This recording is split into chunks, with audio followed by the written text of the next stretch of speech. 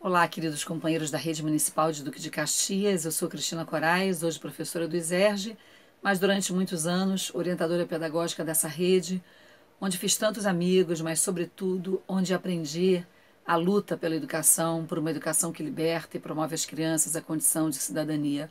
A gente sabe que essa luta não é fácil, ainda mais nos tempos em que vivemos. É preciso ter ideais progressistas, mas muito mais que isso, é preciso ter comprometimento com a categoria, realizar um bom trabalho nas escolas e manter o equilíbrio, ter temperança, coragem, força. E essas são características que eu vejo nos companheiros da Chapa 1, como Cândido, Darilson, Rose, Marisa e todos que a compõem.